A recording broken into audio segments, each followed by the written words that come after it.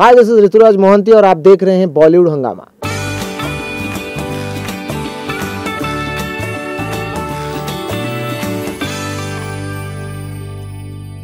मैं एक middle class family की हूँ और मेरे पापा जो हैं तबलिस्ट हैं। ऐसे कि मतलब आप ऐसा भी कह सकते हैं कि हमारा फैमिली जो है कलाकार फैमिली है।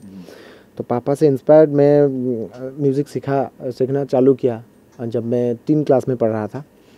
थर्ड क्लास में या फिर सीखना चालू किया क्लासिकल चार साल मैंने क्लासिकल सीखा तो देखा कि पढ़ाई में ध्यान नहीं रहा।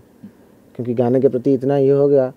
फिर मैंने इसी को सब कुछ मान लिया कि ज़रूरत नहीं पढ़ाई करना। तो पापा बोले कि नहीं बेटा गाना तो ये एक मतलब हार्ट ऑफ़ लाइफ अब तेरा रोज़ी रोटी करेगा या तो पढ़ाई करके इंजीनियर डॉक्टर वगैरह वगैरह जो भी। मैंने बोला नहीं पापा मेरे को सिंगर ही बनना है।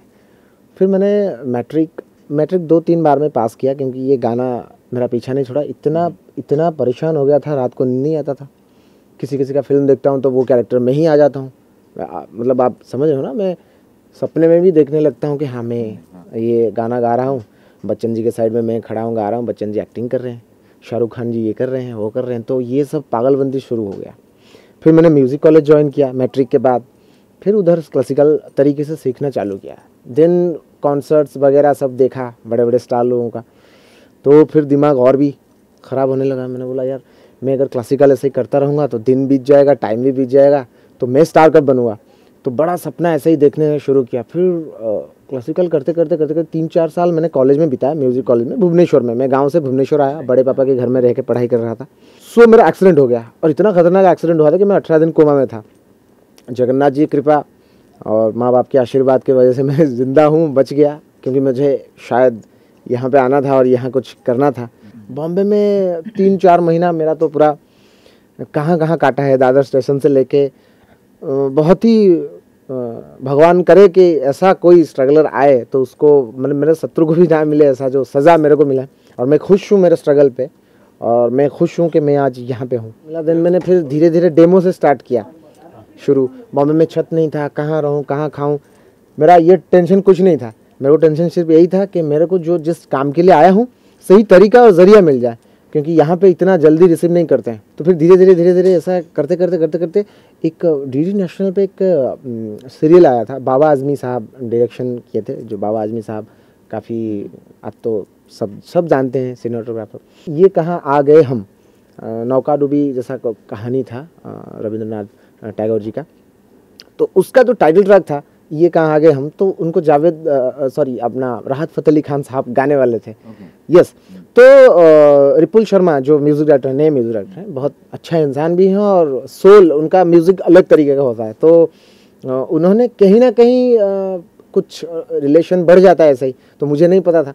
तो मुझे एक नंबर में आया कॉल आया कि ऋतुराज जी गाना है ऐसा प्रकार का आपको मैं शुरुआत बता रहा हूँ अच्छा ही जब शुरू हुआ तो ये पॉइंट है।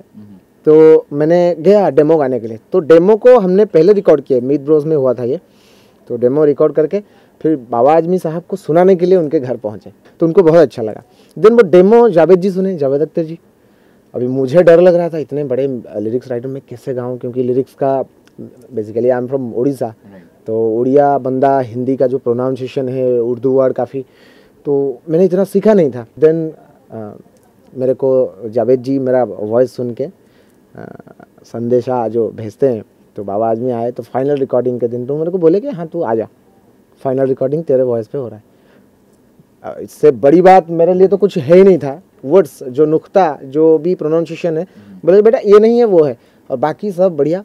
इसको को राहत को गवाने वाला था, लेकिन तूने उससे बढ़िया दिया, वो ज़्यादा नहीं दे सकता। तो वो मेरे लिए बहुत बड़ा मैसेज था, या तो मतलब एक दुआ इतने बड़े बड़े लोग तो मैंने उनको टीवी में देख रहा था।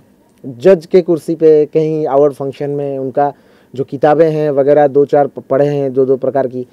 गाना तो बेसिकली मैं सुनता रहता हूँ।